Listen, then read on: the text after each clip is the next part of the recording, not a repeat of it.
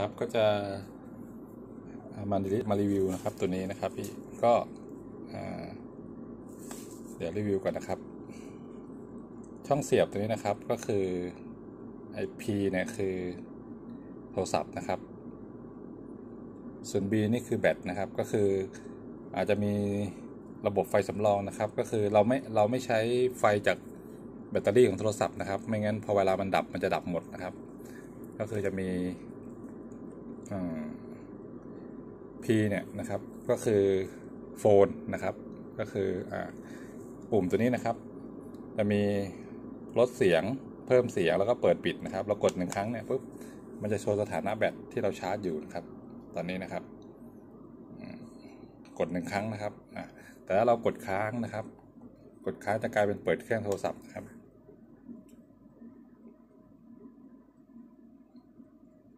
นะครับ กดค้างจะกลายเป็นเปิดเปิดเครื่องของโทรศัพท์ที่อยู่ในกล่องนะครับ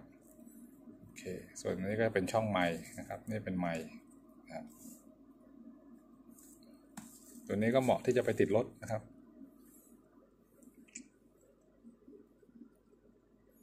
หรือจะไว้คุยที่บ้านก็ได้นะครับ ก็ถือว่าค่อนข้างโอเคนะครับ ไฟตรงนี้จะเป็นไฟแสดงสถานะ เวลาเราเปิดผ้าขยายนะครับ ไฟแดงจะติด แล้วก็ไฟตัวนี้ก็จะเป็นไฟแสดงสถานะ เวลาเราชาร์จแบตเตอรี่ภายในนะครับ เวลาชาร์จจะเป็นสีแดง เวลาเต็มเป็นสีฟ้านะครับ แบตก็จะอยู่ได้สองสาวันนะครับ แบตผ้าขยายนะครับ จะอยู่ได้ค่อนข้างนาน โอเค พอเวลาเราเปิดขึ้นมาแล้วนะครับ ก็ให้สไลด์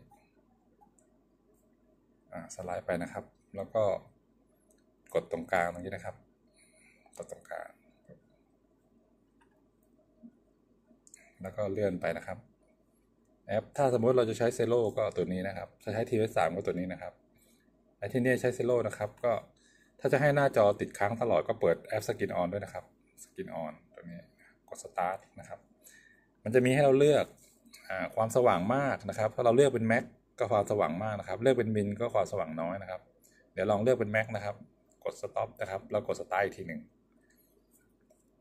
หน้าจอจะสว่างมากนะครับ สว่างมากนะครับ ตัวนี้ก็คือ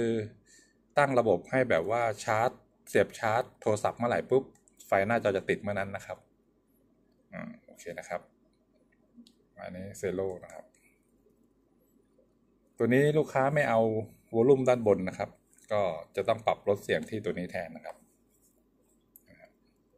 เพิ่มเสียงลดเสียงตัวนี้แทนนะครับโอเค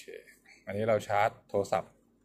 จะเป็นรูบนนะครับ แต่ถ้าชาร์จแบตเตอรี่ เป็นรูล่างนะครับ เวลาชาร์จจะเป็นสีแดงแบบนี้นะครับเป็นสีแดง เวลาเต็มจะเป็นสีฟ้านะครับโอเค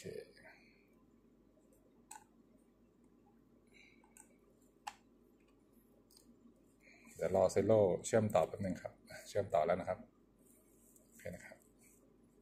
แล้วก็เวลาเร่งเสียงให้แบ็กกลับไปหนึ่งครั้งนะครับ เร่งเสียงคือให้อยู่หน้านี้นะครับ เร่งเสียง เร่งเสียงก็คือปุ่มปุ่มนี้นะครับเร่งเสียงนะครับเร่งเสียงเร่งเสียงนะครับ ถ้าถ้าเกิดว่ามันอยู่ในหน้าเซโลเราจะเร่งไม่ได้นะครับ มันจะได้แต่ลดเสียงนะครับลดเสียงถ้าเร่งเสียงปุ๊บมันจะกลายเป็นกดคีย์ทันทีนะครับอะอย่าลืมเปิดสวิตช์ข้างหลังด้วยนะครับ ถ้าไม่เปิดอ่ามันจะกดคีย์ไม่ได้นะครับ เพราะว่ามันเป็นระบบคีย์ไฟฟ้านะครับเอากดได้ครับกดได้ แต่ว่าเสียงไม่ออกนะครับโอเคครับเดี๋ยวมาทดสอบนะครับ ทดสอบหนึ่งสองสามสี่ทดสอบทดสอบหนึ่งสองสามสี่ทดสอบทดสอบนะครับ เสียงถ้าไม่มีวอลลุ่มข้างบนเนี่ย มันจะเบาลำบากนะครับ ก็ก็เบาตัวนี้นะครับเบาทดสอบหนึ่งสองสามทดสอบทดสอบอะเบา ไปเลยทีนี้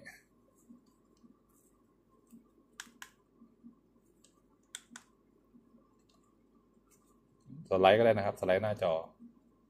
ท่านเบาเบาเกินไปนะครับ ทดสอบทดสอบหนึ่งสองสามสี่ทดสอบวันนี้เน็ตไม่ค่อยดี ทดสอบทดสอบทดสอบาษาภาษานะครับ ก็